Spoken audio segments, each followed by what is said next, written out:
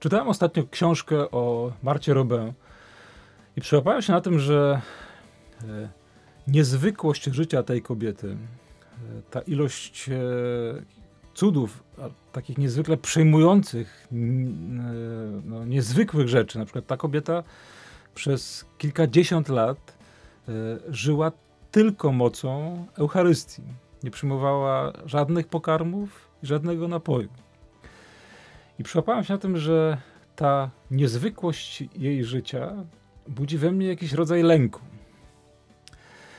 Być może jest tak z tobą, że e, myślisz sobie, te rzeczy mnie przerażają, o których tam czytam, słyszę e, w Ewangeliach, w, życiach, w życiu świętych. E, boję się tego, boję się tej, tych, tych niezwykłości, jakiegoś ezoteryzmu. E, ja jestem racjonalnym człowiekiem, który chce po prostu jakoś w miarę przyzwoicie żyć, nie zmarnować tego życia, zrobić parę rzeczy dobrze.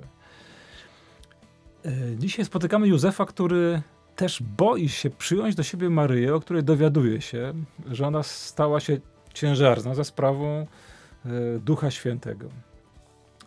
Być może to jest jakiś rodzaj pułapki, w którą próbuje nas wpędzić nasz nieprzyjaciel, e, chcąc pokazać nam Boga jako jakiegoś takiego dziwaka, cudaka, który nie wiadomo, co nam zrobi.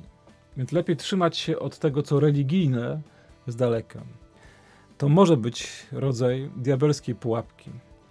Nie bój się, mówi anioł do Józefa.